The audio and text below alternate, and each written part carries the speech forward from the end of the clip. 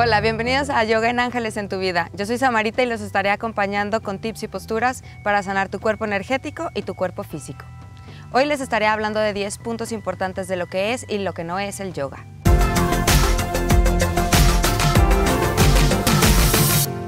Yoga no es una religión, yoga es un estilo de vida. Las asanas o posturas que hacemos son para trabajar nuestro cuerpo, liberar emociones y energía a través del movimiento, de reconocer quién eres y no quién debes ser. Recuerda, tú eres tu propio gurú. Yoga no es llevar tu cuerpo al límite donde ya no puedas más. Si este momento llega, ve a Balasana, postura del niño. Tómate de 5 a 10 respiraciones.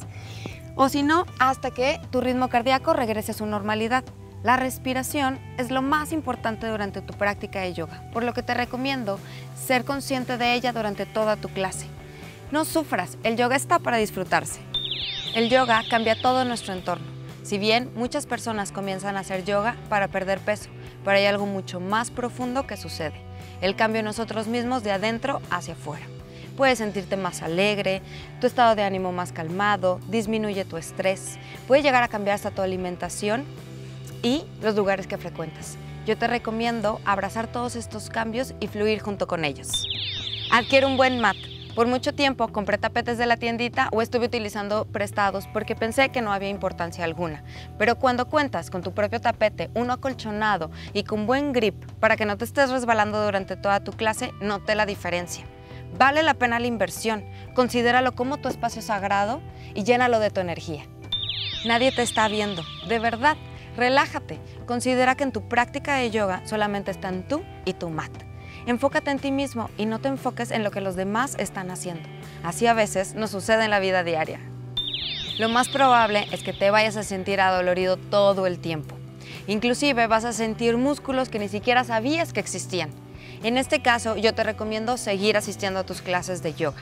Entre más te estires, más rápido va a pasar el dolor.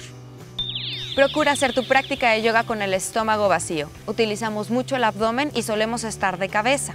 Por lo tanto, conoce tu cuerpo y sus límites. Te recomiendo traer tu bote de agua para mantenerte hidratado durante tu práctica. Tómate fotos y si quieres que estas fotos sean personales, utilízalas para motivarte, para ver tu alineación y cómo vas avanzando.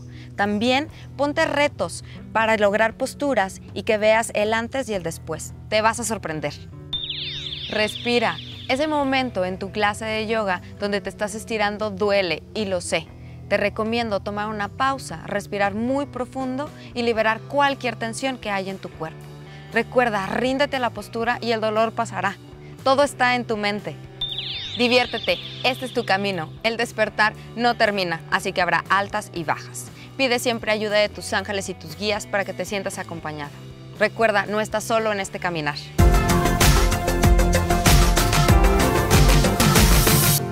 Bueno, espero que les hayan servido estos puntos para saber un poco más de lo que es y lo que no es el yoga.